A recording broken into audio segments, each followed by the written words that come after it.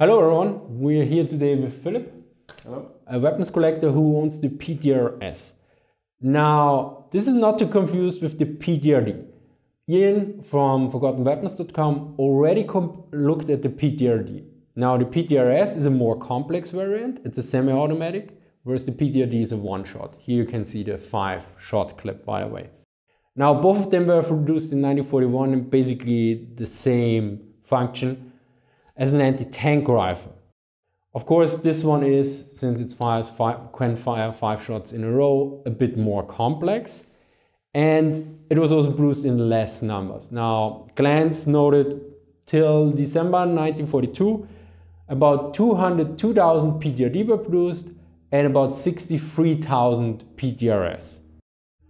Now, as mentioned, they served in the same function and usually in the table of equipments for the Soviet divisions I have, they just note anti-tank rifle. They don't specify if it's PTRD or PTRS.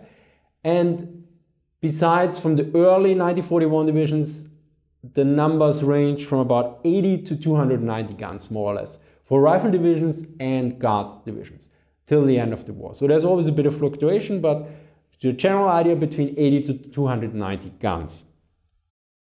Now, we will provide more information later, but for now, Philip will take a closer look at the gun and, well, comment on it.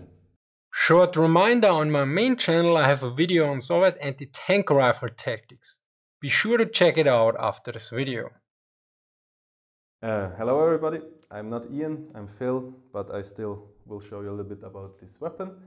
Um, this is our PT PTRS-41, a semi-automatic anti-tank rifle. Here we have a nice comparison, that's a Garand clip and this is a full PTRS clip. Five block and not eight, but uh, I think you get more out of it. Um, the weapon is actually a gas gas system or a gas uh, uh, actuated weapon. It's like an SKS just in big, or let's say the SKS is a PTRS in small, but more about this later. We have simple iron sights uh, with a gradient to 1500 meters. Uh, we have a big charging handle where you little bit need a little bit of force. Uh, we have like a Garand uh, loading device where you can insert the clip. Mostly you load it from the bottom. It's easier because and uh, you have a massive bolt. It's about two to three kilos and a very sturdy frame. But more about this later. Uh, we have a safety here. This is on fire. We can fold it completely back into this position. I'm not going to do it because there's a pin a little bit protruding. I cannot get it back properly. Um, normally, this bar will block the trigger that you can't press it and you cannot reach into it.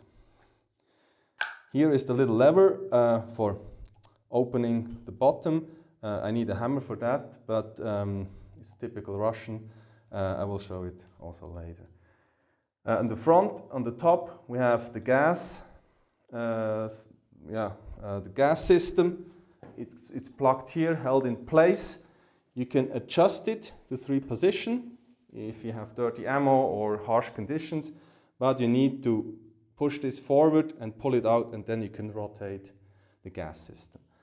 A very, very heavy barrel, a very sturdy bipod and iron sights and a big big muzzle brake, which produces a nice flash. Uh, one funny thing, one nice feature about this gun and the design is it's actually really also meant for two-man operation. You can carry it in the middle or you can remove it.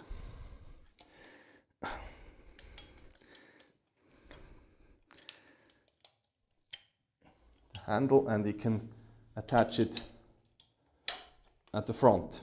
So one man can carry it, carry it in the front, the other guy can carry it in the back, and you can move really fast over the battlefield.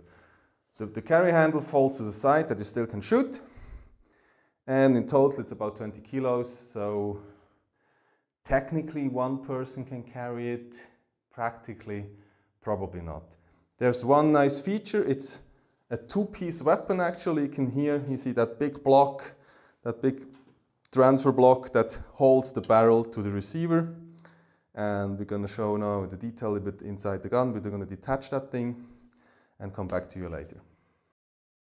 Okay, we have the weapon now in the two, two pieces, the let's say travel position or the travel uh, situation, uh, how you will travel with the gun. Uh, we have here this, this rod you see that is actually this long. That's for the gas system. This one pushes, it's a short stroke system that pushes onto the, the receiver here and on the, on the bolt here and then recycles the gun. Um, I'm not gonna disassemble the gas system. It's actually just a very simple gas system. Uh, nothing fancy here. It's also very crude Russian made. Um, the interesting part is now inside here. This is the Simonov receiver. Uh, the one who have an SKS probably will know the system by heart. It's, it's very typical, it's actually the same. You pull that lever here, upward position, then you can, you have to, it's a threaded sometimes, it's a threaded latch. You can, you have to hold it down because it's a very strong spring inside this. You can pull it out. And now comes the funny part. It still has Cosmoline in it and a very, very strong spring.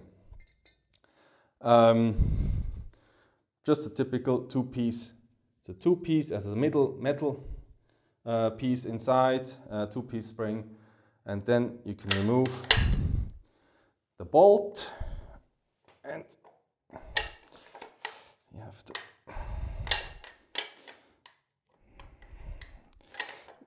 everything is a little bit bigger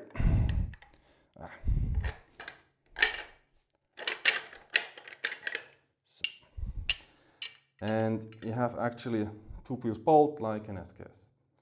Um, funny note, it's quite, quite heavy. Uh, funny side note is you have a spring, uh, spring as a spring tension on the firing pin. So I guess would say when you slam forward that you don't detonate the cartridge and uh, safety feature. The rest is just a normal, a normal trigger uh, where we here, here have a catch uh, you cannot fire it in the dry position. You need the bolt inside to fire it, but it's a very crude, simple system that pretty much works. I got some additional goodies about the PTRS. Namely, I got a report about the initial employments of the PTRS 41 from September 1941. Peter from Tank Archives translated a rather interesting document that outlines that the PTS was treated more or less as a secret weapon at that point yet also that some commanders did a rather poor job. The document is from the Military Council of the 30th Army. It notes Inspections of anti-tank rifle platoons and meetings with platoon commanders revealed the following. Anti-tank rifle companies arrived at the Army headquarters on August 17th and were sent to divisions on that same day. Company commanders upon arriving at divisional headquarters reported to division commanders regarding the purpose of these rifles and their tactical characteristics. Commanders of the 251st, 242nd, and 162nd Infantry Divisions treated the rifles as formality. There were no orders to the divisions or inventory entries, even though they were warned about the great secrecy and value as anti-tank weapon of the new rifles. Regimental commanders treated the rifles the same way as the divisional commanders and used them recklessly. As if this was not bad enough, the report continues. Anti-tank rifle personnel were frequently thrown into offensives ordered to fire upon pillboxes and machine guns from their rifles.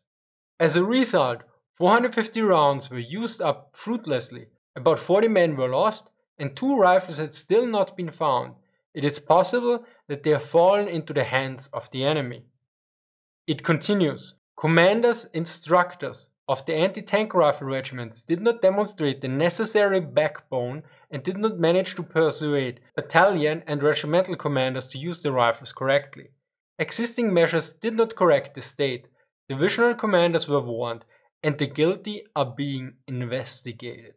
There also further instructions included that underline the statement by Philip that you technically can carry the rifle alone, but practically two men were used. It is necessary to use the anti-tank rifles as follows. First, attach anti-tank rifle companies three platoons to infantry regiments. It is reasonable to have a separate heavy weapons battalion at divisional level. Second, increase the crew of one rifle to five men. Two carry the rifle, two carry ammunition, one is for communication. Give them a card. Third, each anti-tank rifle platoon should have one handheld machine gun and two PPBDs for cover to destroy small enemy groups that seep through. Fourth, carefully pick the personnel, especially commanders. Equip them with necessary communications and control equipment. Company commanders should be issued a motorcycle. So thank you very much, Philip, for showing us the PTRS. And thank you for watching and see you next time. Bye.